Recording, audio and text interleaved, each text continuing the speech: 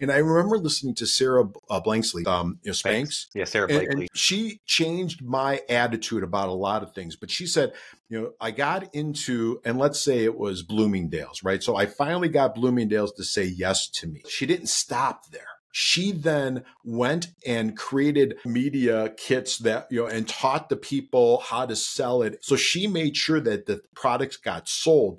Some of us would just stop at, I got it into Bloomingdale's, done, check, let me go on to the next thing. But you become almost obsessive compulsive about saying, okay, now I got to make them successful. Now I got to make sure that they move my product so I stay in there forever because I'm just in there. It doesn't me doing any good. And if they all ship them all back, it doesn't do me any good. Welcome to the Stacking Habits Podcast with your hosts, David, Matthew, and Caleb. Our mission each week is to dig into the habits, rituals, and routines of guests who are living life to the fullest. But remember, knowledge without action is worthless. So be sure to take what you hear and put it into practice. Turn these words into works in your own life. Without further ado, let's dive in.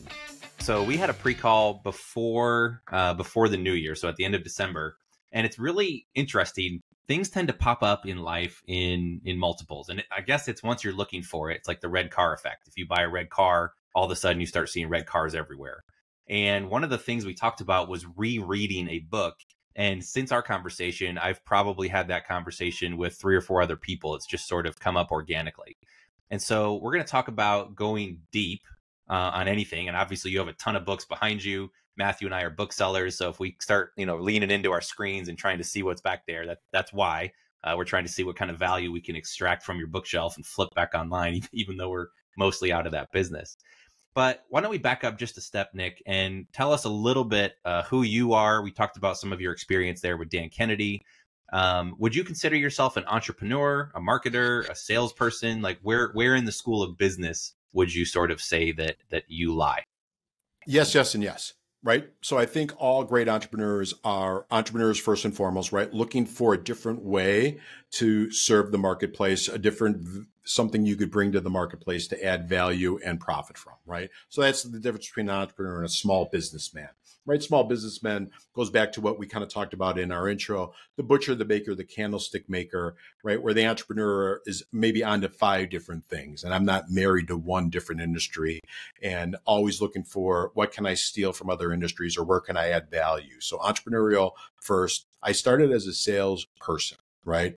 Uh, and you know, carrying a bag, cold calling out of a cubicle. Matthew, you know, I had a I had a landline. You probably don't even know what that is, right? But just you know, a phone attached, right? And I got really, in, in you know, it, it got a headset, right? That was high tech, and you know, started on the one card system, which was index cards before CRMs were even around. And you know, you got to be, and, and so I just learned the art of sales, but also you know one of my mentors which who was a phenomenal salesperson and you know i was smart enough to go seek him out and he took me under his wing but he says we're marketers first right? And so you know so then i became a student of marketing.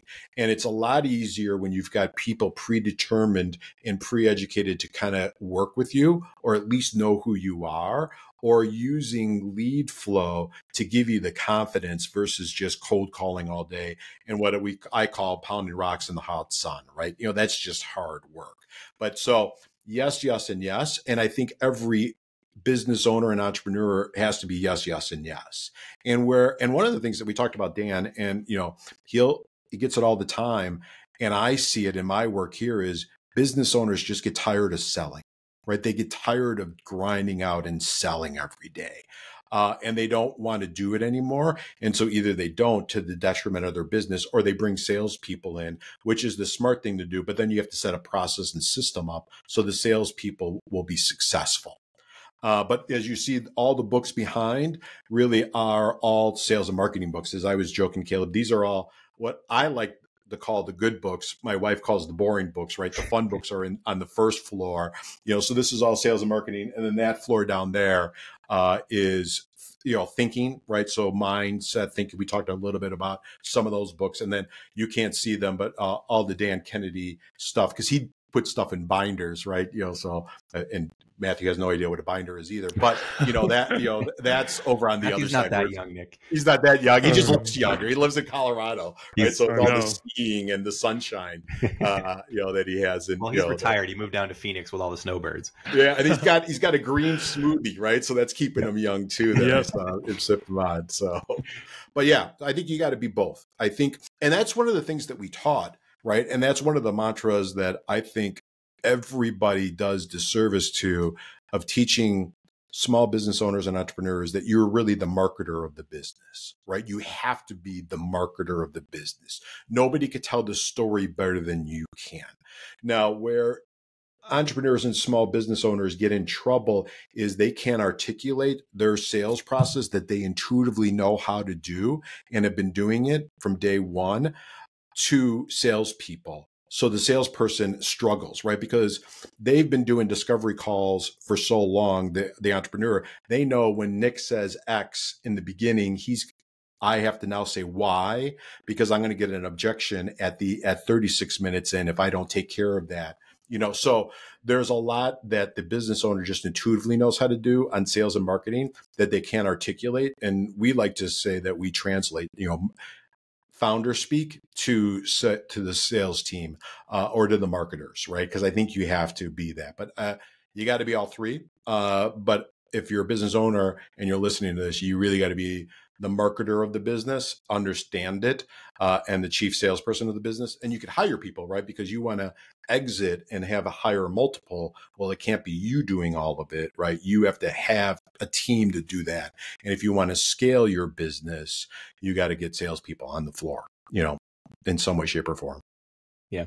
So one of the knocks of entrepreneurs is that they chase shiny, and so Sure. uh, we all know somebody. I'm I'm definitely guilty of this as well. It's Yeah. hard to be Yeah. grounded when your your sense of curiosity can overwhelm you, and so a lot of our audience are entrepreneurs because that's that was our audience in flipping books on Amazon. So a lot of them kind of came over with us. But our, our main goal with stacking habits is to present sort of wide ranging habits. So we don't just want to focus on business, although that's your expertise. We will certainly hone in on it. But what I want is for people listening to say, hey, I'm not an entrepreneur. I don't identify as that. Um, but I think some of the struggles in terms of chasing shiny and trying to figure out what they want to do and sort of how to add some sort of a grounding or depth or intention, I think we can kind of sort of pull some of those threads out of this conversation. So one of the main things we we oh, go go ahead, Nick. No, go ahead, finish, and then I'll yeah. go. So one of one of the things we we sort of pulled on a little bit before was that idea of going deep. So we talked about reading multiple books and trying to pick uh, one specific topic and know more about that. So for you, how have you sort of, as you've looked at the entire world of business and marketing and sales, how have you sort of figured out where to hone in and focus your attention? First off, that's great, and you know I think going deep could be applied to anybody, right? So Cal New, Newport, right? Deep works, right? Or just going deep on. We're talking not only on the deep work, but also on the deep knowledge, right? And there's a great, I call it documentary, but it's probably loose. It's more of an infomercial, but I think it's called Bill's Brain, which is Bill Gates's brain, and it talks to him about his process, right? And he also has a picture of his library, which I kind of, you know, talk about, you know, guys want Rolexes and Lamborghinis and all that. I want that library, right? That, you know, with all those books.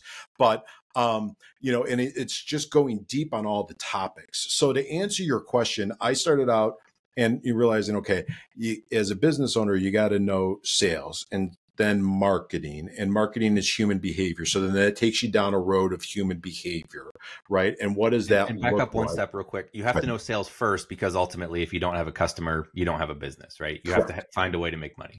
Right. You got to figure out a way to get somebody that raises their hand to say, yes, I'm moderately interested in it, to yes, I'm going to exchange money. Or if you're, you know, back in the older days, barter with you, right? I'm going to give you my goat for your for your uh, ironsmith services. Um, you know, whatever that looks like, uh, you have to get that person to converge and say yes, and then do some level of exchange um, or trade, as you will, in the marketplace. So if we can Mhm. take it down to its basics, right? So the beginning days, you know, it started with barter. I'm going to barter your my services. You see that a lot in construction today, right? You know, the the guys that own um, the you know, they have a phenomenal house, but they just you know they just bartered their services through. So you have to converge. So you have to have sales to say, get that person to say yes in some way, shape, or form. And sales, quite frankly, some people that are listening may not be in business. So it's getting, I was just talking, quite frankly, to my cleaning crew that is here cleaning the house. And we're talking about her 15 year old boy, right? And so you got to sell him on the value of reading. You have to sell him on the value of being active and engaged in school to be an active citizen right it's the you know it's the teacher that has to sell the student about you know just being engaged right and doing the work um, and so sales is is everything it's the doctor that has to sell the new lifestyle to somebody that just got diagnosed with prostate cancer, right? Or, or cardiac, right? And now they have to kind of completely change everything that they need to do. And you have to convince them. Now, they may spring shot and say, Yes, I'm going to do it, doc. And yes, yes, yes, not a problem. But then it's going to go away, right? Because old habits die hard. And that cheeseburger tastes so good, right? And the milkshake is phenomenal, but that's not good for us. So you have to converge them on sales. Then marketing, because you have to create demand right? You have to create a market presence. You have to create a brand, if you will, right? And you have to get people to kind of raise their hand that want to do business with you, or at the very least, learn more. So that way, somebody in a sales role could take over and move them to yes. Uh, and then, you know, kind of go deep on different businesses and different um, let's call seasons of business, right? So the you know what's it called the turning point, right? The different seasons of business because business life cycles and business seasons all happen right? History is history, right? We, we could we could fool ourselves to say the tools are different, right? AI is different than maybe what happened in the 70s or the 80s, but the seasons of business will always be. There'll be booms and busts. There'll be generational, um, you know, changes of the business, and what does that mean to the marketplace? What does that mean to different things, right? And so you have to know that and understand that. And I like to go deep on all that stuff. Love it. So An- another you... really really long answer to a short question. I apologize about that. Well, these are great. It's obvious okay. you've been a podcast host in a, in a former life. Um, so how do you decide? So I, I think when I define entrepreneur, um, there's a, there's an element of creating, there's an element of taking on risk, but I think a big piece of being an entrepreneur is the element of deciding, because you can do anything, but you can't do everything. So as we talk about doing deep work or finding that subject to dive deep into, how do you how do you sort of figure that out? Is there a mathematical way? Is there something that you figured out with your decades of experience in terms of like we always preached startup, scale up, and then find some way to systematize or step back? So the yeah. startup was just about going from zero to one. How do you get that first dollar? How do you create that first customer? Once you know that you can do that, then it's about trying to kind of systematically scale up. And so we try lots of different things. And some of the things found us when we were doing books, all of a sudden we had crazy number of new customers coming in the front ends. And we're like, where on earth are these customers coming from? Turns out it was TikTok. And we had um, customers that just loved our app and started sharing. And that began probably 18 months of primarily Matthew saying, all right, this is working. Let's go dig in this vein of gold. And we started paying influencers. We started creating content. We started, you know, doing advertisements. And that one thing that we started going deep in, which, you know, a year ago, prior to that, of course, TikTok didn't exist. It came out of nowhere. But a year ago, if you had said, "Hey, your your business model for marketing is going to be paying affiliates on TikTok," I would have laughed at you because that was just some sort of mm-hmm. entertainment platform. And it turned out that was a very good thing for us to go deep in and learn about and make sure we figured out. So, how do you is is that sort of something you just figure out like what's working and then go deeper, or can you sort of systematically or strategically go after that? So I think it's yes and yes, and I think you said something key, or you or Matthew ask the question of where are these people coming from? Sometimes we as business owners just are so caught up in the in, on the treadmill that we don't ask that question. Where are our customers coming from? And it's not just where are our customers coming from, but where are our best customers coming from? Right? Where are our most profitable customers coming from? Because I may want to have five to seven or eight to 20 different sources of customers, but not all sources are the same, right? So these are my top three and generate 80% of my business and are the most profitable. But there's somebody down here that only generates 10 customers a day or a year or a month for me, but they are micro profitable. They are hugely profitable, right? So they're my slack adjuster. So I want to keep that, maybe try to find some others, but then keep keep on doing that. And so to answer your question, Caleb, somebody in your business or all of you guys in your business, you probably all were smart enough to ask that question, right? Where what's going on? And then now it's knowing the back end, right? Because if you would have just you did that for your own business, did the math, and then went down the rabbit hole. Most business owners don't do that. And sometimes we don't know the back end of other people's businesses. So we say, oh, Nick is blowing it up on Facebook by selling, you know, a $39 something or other widget, right? But we don't know that he's got a back end that is 50 yards deep and really his lifetime value is not $59. It's $3,000 by the time, you know, the time they get done nurturing and, and, and selling all different products and services. So know the back end of the business, know where it is.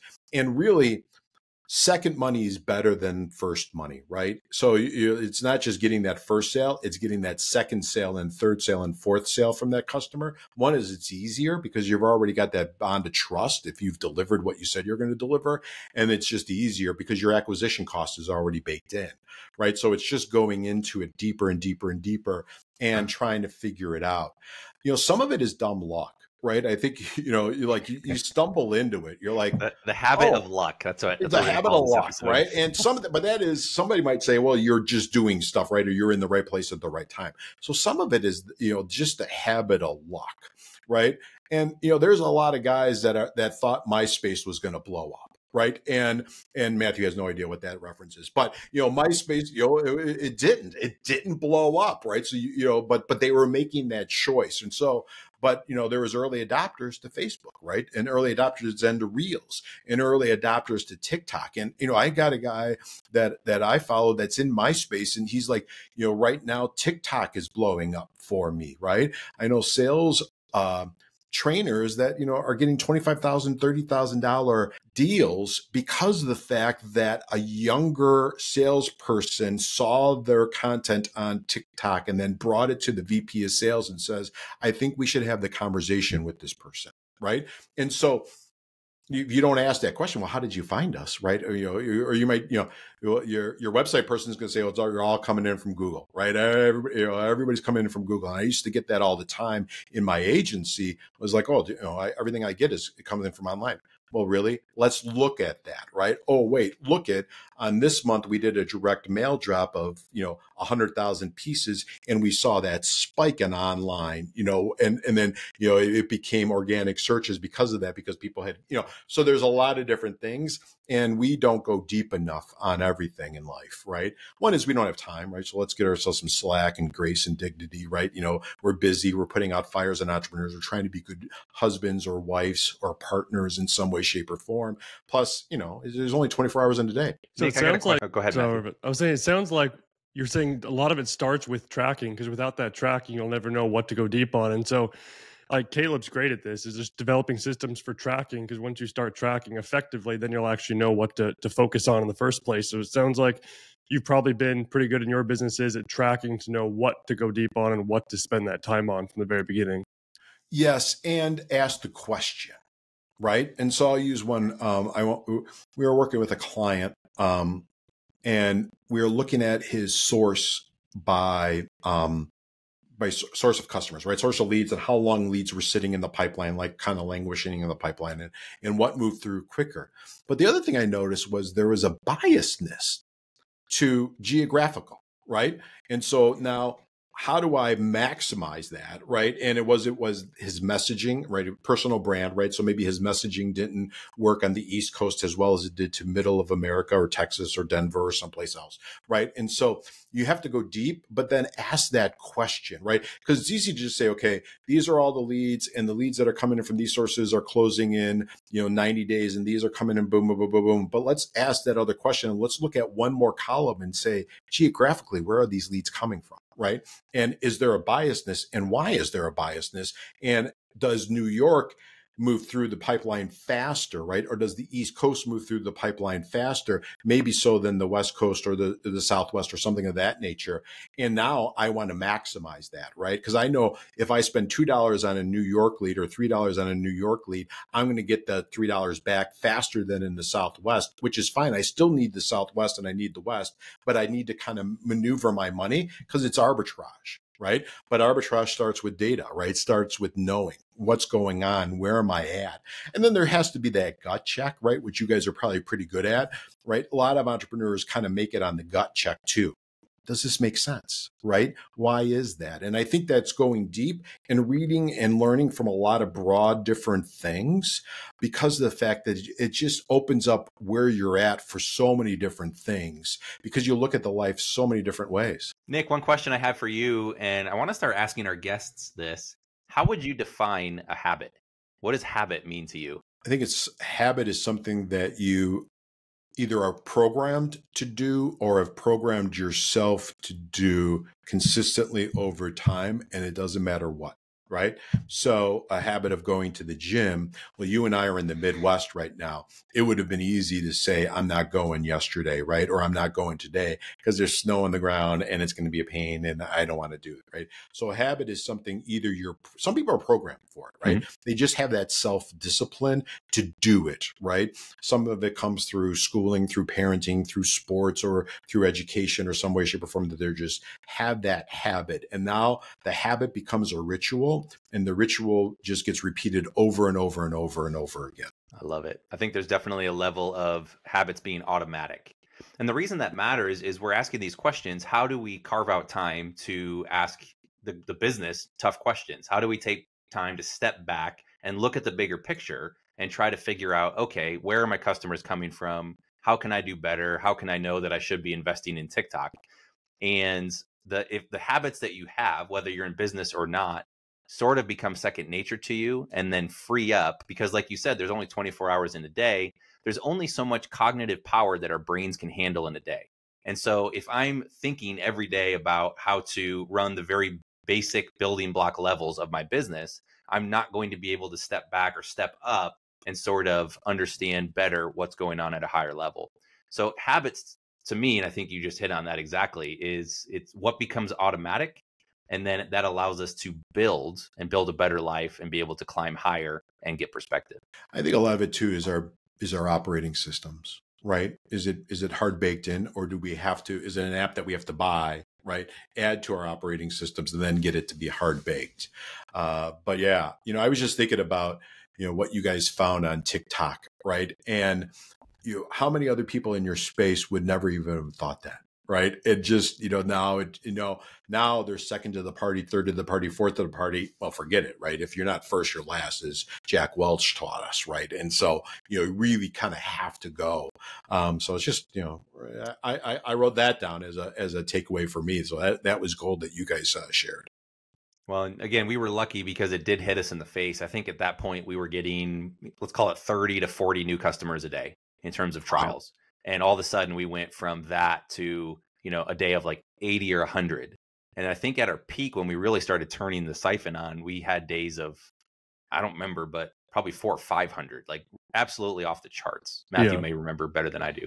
Yeah we yeah i think one day was close to a thousand which is the highest day we've ever had by far but yeah it, yeah which is just turned on like crazy especially when that second third fourth video went viral all together at the same time.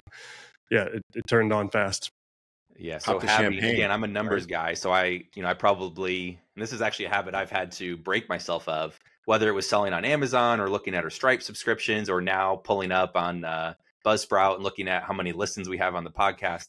It's not going to do me any good to look at that eight times a day, right? So what I've done for Buzzsprout now is I've actually forced myself to only look at it once a week.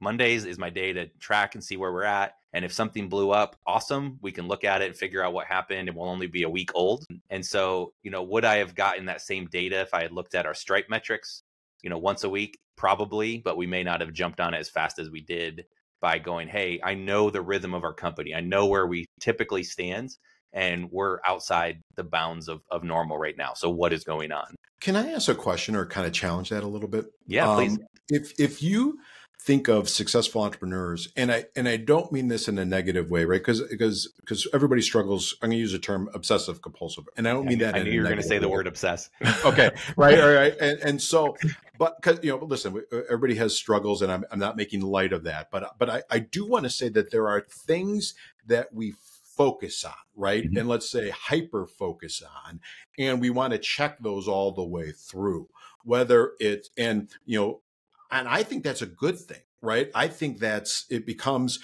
I don't want to say you become maniacal about it, right? Because then you be, you kind of lose balance. But I think that's a really good thing. And I remember I was two two points on that, Caleb. I was listening to Jim Cramer, right? And you know he does the Mad Money Mad Hour Money, or whatever. Yeah. And he was talking. He was launching a book, and he just threw away the comment that he was at three o'clock in the morning, he was checking his Amazon sales and he had been tracking his Amazon sales vis a vis other books at that time.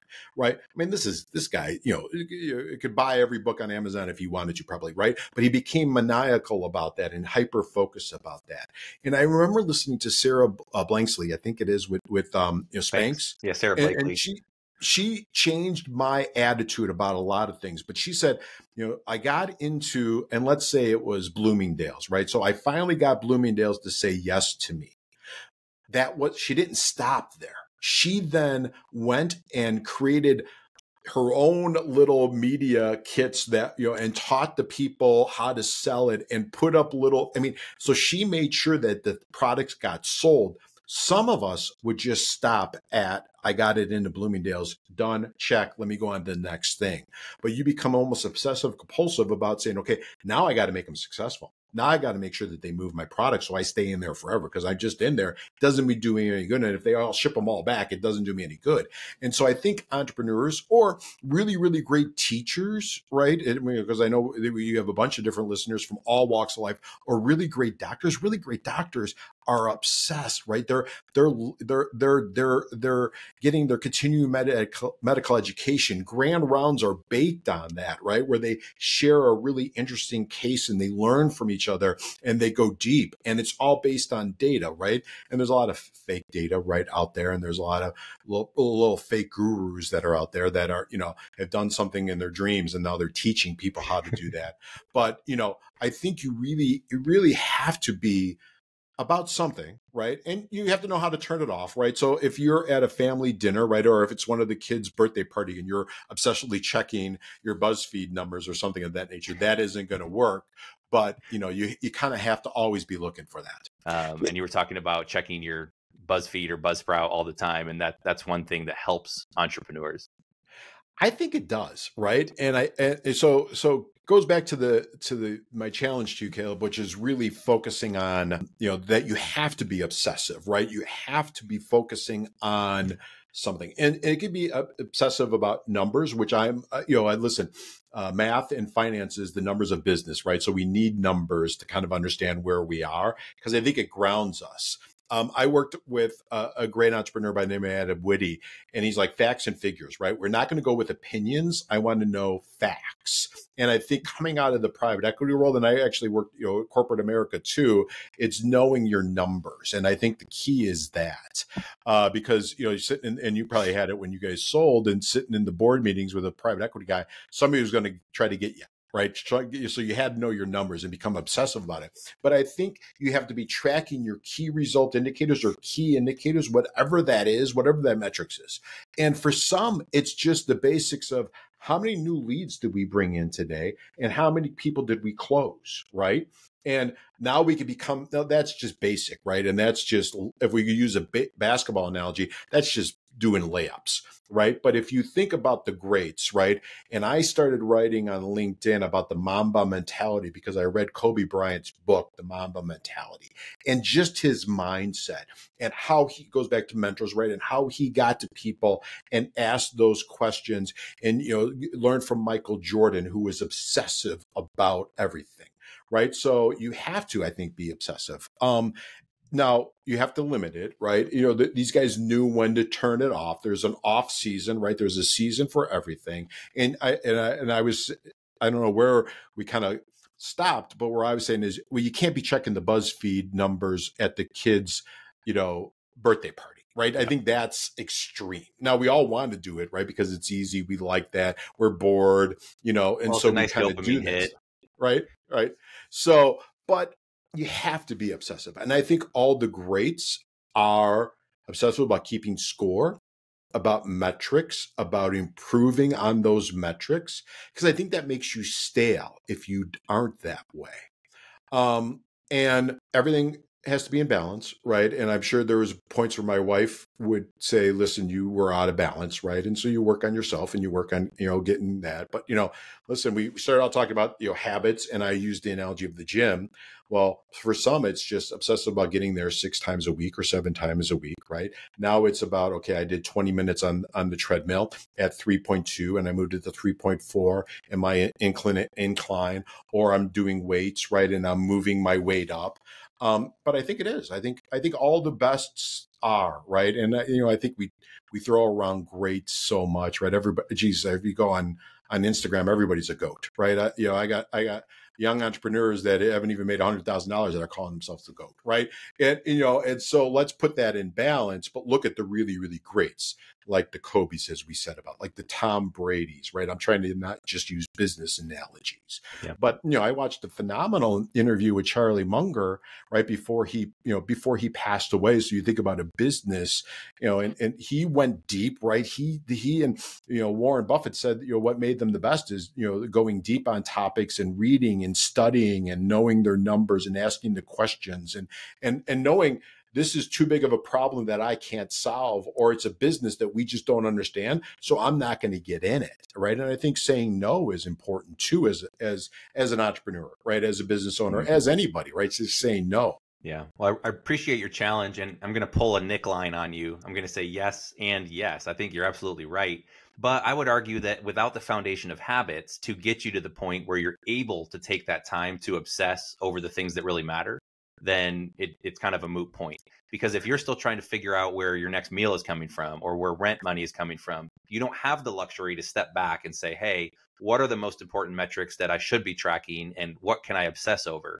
And that is a that is a luxury that I think habits can afford you because they allow you to get so much done unconsciously that you can then spend your precious mental processing power doing the things that will actually um, you know have massive breakthroughs yeah, hundred percent. And you know, those you know, my heart goes out to those folks, right? Of and listen, as entrepreneurs, you know, we've all been to that. It's like, oh crud, payrolls due, right?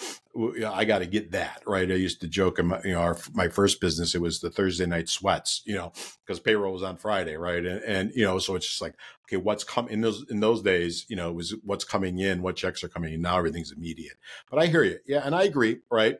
And, you know, for that person, they need to be obsessive about getting their next customer, right? Their next sale, right? And it's becoming better doing the reps on the sales process, getting leads in, having the intestinal fortitude to do the hard work of picking up the phone and calling people or knocking on doors if you're a main street business or whatever it is to get people into the fold. That's the most, you know, that's be- what you have to become obsessive about. Yeah. I grew up in a leaderboard biz, you know, like I wanted to be top of the leaderboard, right, as a salesperson. So I became obsessed with what are the greats that are there doing, right, and how are they winning, and how can I emulate that, and now how can I make that my own? And then when I, you know, had a business and, you know, it's like, okay, and it was a franchise, one of my businesses. And so how can I be president's club, right? Because they had a president's club. So what does that look like and how can I get there? And there's a little bit of knowing the metrics so you could kind of game the metrics a mm little bit, right? It's, you know, and not to your detriment, but you, you, you, you have a competitive drive, that habit of trying to be the best. Now, things maybe got pushed aside, right? Was I 100% in my health? No, right? You know, I'm spending time on the road, you know, making sales calls. So I'm at McDonald's, right? Because it was free refi. Well, you're in McDonald's, you got to, you know, you'd be rude not to get, you know, a Big Mac or something or Dunkin' Donuts. Well, you got to get, you know, you got to get two and a, and a coffee with cream, you know. So, you know, you, you have to balance that, right? And, and, and, you know, kind of look at everything. Yeah. So what are you obsessing over now, Nick? At the, you know, you've done so many things in your career and you've you've yeah. obviously gone deep on a lot of different subjects. What uh either it could be what are you hoping to obsess over in 2024 or what have you spent time obsessing about lately? So I a couple things. One is I think I think business is going to there's going to be businesses out there that are really going to catapult themselves and there's a lot of zombie companies out there, right? And and so I'm obsessing about can I find some some of those companies and maybe acquire them or acquire the assets of those companies and build those up. Um, I am obsessing of saying, okay, I've worked in the PE environment, right? I've done a, an exit, but it was you know small. So can I do one for a couple more zeros? And that's where I really want to build my company, add value to the marketplace. Where can I add value to the marketplace, uh, and see what does this look like on a one year run, two year run, five year run, and seven year run. I have the luxury of we've put our kids through college, right? You know, I, don't have to worry about that, that some people do. So now it's like, okay, how can I really add this? I enjoy the teaching aspect. That's why I love doing these podcasts. Hopefully, I added value to to your listeners along the way. Um, and I did some teaching in in in the in the graduate level at a university. I don't know if I'll do that right now. There's just so much stuff going on in that environment. But I want to give back and teach, right? So I'm becoming obsessive about being a better educator and communicator and moving that through. So the first thing is business. You know, second thing, you're growing my business, acquiring businesses, moving this to the next level to see what my exit looks like.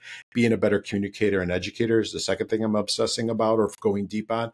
And then the third thing is we've talked a lot about it, you know, health. I'm not not as young as the two of you guys, but you know, kind of getting that back in play, right? And and really that's one thing I get obsessed about. You know, you get the app, you get obsessed about, you know, what's my mm-hmm. calories in, what's my fiber, where am I at and all that. So it gives you a scoreboard. And I think the gamification of it is and really going deep because I think sometimes business owners, entrepreneurs, we put that aside and we shouldn't. And I'm, you know, I hold the mirror up, right? I'm not pointing the finger. I'm holding the four fingers are back at me.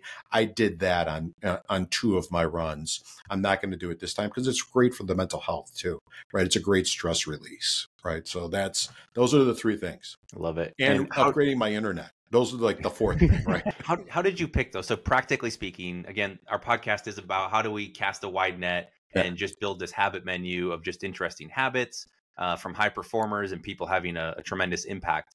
But we also then want to get extremely practical. So, mm-hmm. how did you arrive at those three things and, and, four with the internet? But was there some sort of do you, do you have like a routine where you sit down once a year, once a quarter, and sort of ask yourself some questions? What what does that actual process look like? Great question. Uh, and yes, and yes, as as yes. I get to quote myself. so um, I do an end of the year question that I have I've kind of I actually got this from Tony Robbins I think in the 90s right? And you know and it was he sent out a cassette tape and Matthew doesn't even know what that is right? But you know we, we, we, you know but but you know I he, here's a cassette tape. I was probably on his membership right? And these are, he goes these are my end of the year questions. Well so now I've gathered those and added to them and now I've moved it to we do I do a big one and then my wife and I review the year right? So we review we review our year what do we do what what, what went well what didn't went well travel all that good stuff. And then from there i figure out where i want to go and then i ask myself those questions quarterly because i think monthly you're too much into the think of things so you have to kind of step mm-hmm. back and look at at it.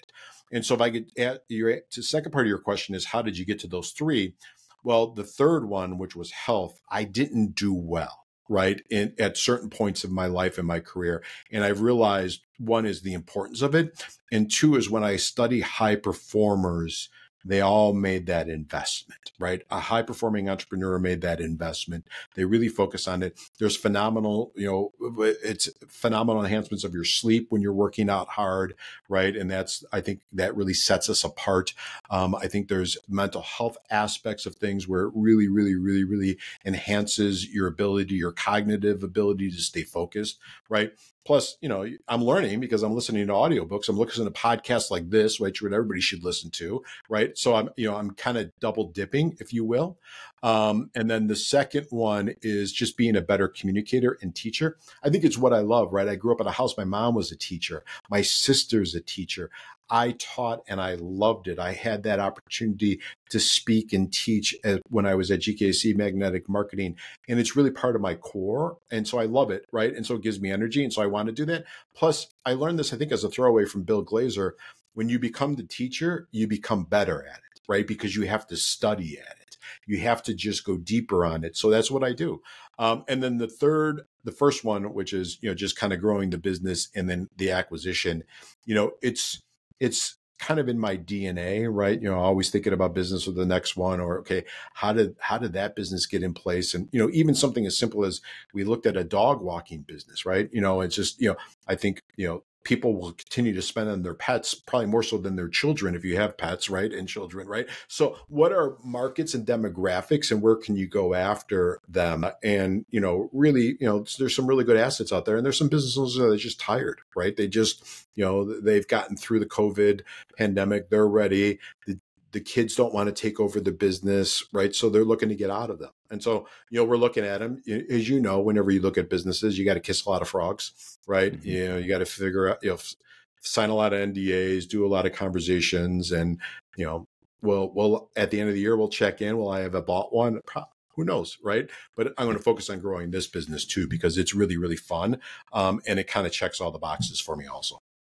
Well, I like that. Nick, you're clearly a student of life. You're very curious, and I love hearing all the references that you've mentioned. I think one thing that, that gets overlooked with habits is it's really easy to imitate others. I shouldn't say easy, but it's very it's very doable and practical. And so that's one reason we want to bring so many just wide ranging people on the podcast. Um, because if you see someone else doing something, there's a kind of an old phrase says, see one, do one, teach one. You're obviously great with words. You're a great communicator, great teacher. Um, but if you can see somebody else sort of pave the way, and for you that was Dan Kennedy and all these other names that you've been referencing throughout, um, you've done a good job kind of hitching your wagon to theirs and pulling out great questions from Tony Robbins and applying those, you know, decades later. And so that speaks testaments just being able to take that knowledge and then put it into practice in your own life, and that is going to continue to pay dividends. Yeah, but I think, you know, and thank you first, but what you guys are doing are phenomenal. Well, first off, congratulations on your exit, right? The, you know, what percentage of, of entrepreneurs get to that point? You take a hat, do a victory. I mean, that's allowed you guys to do some really cool stuff, but, you know, that's a huge feather. And, and I'm so impressed. My, my, you know, I, I you know, I, you're you're on my board of goats, right? Because of that, and I don't use that lightly because that really, that's really, really, really phenomenal. And two is, you know, I love your concept of your podcast, right? That's that's cerebral what you guys are doing of saying, I just don't want the guy on or gal on and, and have them do their stump speech or talk about their book or, you know, let's, what are you passionate about? Go deep on something. And hopefully we, I added value and I, you know, the, the podcasts of, that I listen to, you know, there's great nuggets that you get in. And that's why in this generation where we're at, the access to really, really, really good information is phenomenal, right? Really, and and you know, shame on anybody that doesn't take advantage of it, right? And you know, we just you know, and and I learned something from Matthew and you with the with the you know the TikTok, right? And just okay, and then going after the influencers now, then and going after and buying the ads and all that. So you know, to me, you know every exchange is an exchange that could be positive or negative and this one was definitely positive for me and hopefully it was for you guys and for your audience. Looking at all those books behind you and hearing about just all the the books you've read and you seem to be a very well read person if you had someone in a nine to five right now approach you and say what three books should i read if i want to start my own business? What three books that you have sitting on the shelf behind you would you recommend to someone wanting to get out and start a business of their own so the first the first three that I would have them do is I would have them read Dan Kennedy's uh, sales letter, right? Uh, how to you know, the ultimate guide to creating a sales letter. I'd have them read um, uh, persuasion or pre-persuasion, but that's pretty esoteric, right? So they kind of have to understand that. But I think that's a good one on the marketing side. Dan's going to be tactical, right? Boom, boom, boom, boom, boom. How to write that sales letter, Robert. Uh, you know, um, uh, see, I always get his name wrong, but a persuasion or um, pre-persuasion focus on how to get people to say yes, right? He's got another book that's called Yes, right, which is the scientific way to get people to have yes. Uh, and then on the sales side, there's some there's so many good ones. I mean, I think they have to be schooled and go to Zig if they haven't, right? So you go back old school of reading Zig. I'm just a huge fan, right, of what he's done. Uh, but you know, he doesn't mesh with everybody, and some people are like a little bit old. But you know, Seth Godin still references Zig Ziglar, right? Mm-hmm. So come on, um, and so go with him or go with you know somebody else uh, on the sales side, but somebody that teaches you the sales process, right? And you know, realizing that objections are just part of the sales process, and don't get uh, befuddled by those. So those would be the three. If you want to go deep on three different topics, right? So marketing, you know, or copywriting, I think, you know, really understand, you know, you probably are just intuitive about really getting great on on words right? And using the right words to get people to yes right? And so what's a great headline? What's a great body copy right? You know then i'd go david ogilvy right? And you know his confessions of an advertising man still to this day of how he set up an ad you know still used by everybody right? So those I don't are, think I've read the Persuasion book before. You said who was that by? Would you the author uh, of the Persuasion? Maybe I have read it. It didn't sound familiar it. though. Pre oh persuasion. Okay. Yeah. Robert. Okay. I need to read that. I don't think I've actually ever read that book. Have you read and that, Caleb? Think, I've not. And yes, right. He's got one. I, I don't want to keep on getting up because this is the podcast, but it's called Yes, right? And it's and, and influence, right? So you probably read influence, or everybody's yeah. read influence, and then yes, and then pre persuasion or persuasion. Uh, those are the good ones. You know, I, and you then you go deep on persuasion, right? There's some good stuff on that. Um, it's a black and white book, and I forget the author's name, uh, but it's it, it's really good on the on the SO. Uh, it's power and force, uh, and that's power more on persuasion. Force. Power and force. Awesome. Well, thank you for those recommendations. Got a new book to add to the list. Well, you guys probably have like eight thousand books in your uh, in, in your uh, storage. Well, sold over well, eight thousand books. Well, I stole I stole a line from uh, Ramit Sethi, who oh, one yeah. of his personal rules is as soon as he hears about a book, he just buys it. And so yeah. I'm guilty of that. My my inflow of books that I need to read or want to read, I'm trying to remove the words need and should from my vocabulary this year, but that just keeps ever growing. And after our conversation last time, Nick, I've I've actually picked up two old books that I've read before. I don't go back and reread books very often. So one is going to be Atomic Habit, Habits, which yep. of course fits into this podcast. And the other that's probably been the most influential on my life is The One Thing by Gary Keller and Jay Papasan. Um, and you talk that. about playing offense. It's so easy to chase shiny. And one of the things that he taught me in the book, at least the big takeaway for me, was to block out four hours a day and turn my phone on do not disturb, don't check email, close all the distractions, and simply focus in on whatever the one or two uh, he, he would just say one thing but pick one thing that's the most leveraged thing you can do even if that's one hour a day. If you can allocate one hour to playing offense and doing the most valuable thing for your business for your life for you as a parent whatever whatever you're trying to expand in then that is going to pay just massive dividends. And so i'm going to go reread that book because i'm a different person than i was five or six years ago when i first read it and i'm excited to see what i'll pick up the second time around you know, it's interesting. I'm I'm ashamed that I didn't read that book. Right, I just read it uh, in December, um, and it was one that always got referenced, um, and I you know listened to it on Audible, uh, but phenomenal. And I agree with you. And I loved his line where he said, "I went and fired myself," right, and then just focused on building up team members. And you know, you want to talk about scale. You know, it's building the team, right? And I and you don't realize that when you're growing a business because you're kind of in the fight of it. But the one thing I didn't realize is how important culture is, right? And how important building team people are and building them up and setting clear objectives, right? And, you know, scorecards and data and stuff like that. And, and I think any operating procedure that you could create, uh, you know, for that business so the business runs um, and it's based on facts and moving things. And what's the one thing I think, you know, Gino Wickman, they do some good things. Okay, these are the four big things or three big things. You want me to do the fifth one. What are we going to take off? Right. Because then we just keep piling on to people and we force people to shut down. Thanks so much, Nick. And I saw you yeah. take a note during the podcast, even on the TikTok thing. So yeah. I would encourage you, if you're listening to this and something stood out, don't just let it rattle around in your head and not find a resting place. Take a second, jot that down, make an audio note to yourself. And I promise that future you will be glad that you did. And with that, that is episode 13 of Stacking Habits. Tune in next week and see what other mystery guests we bring on. Thanks.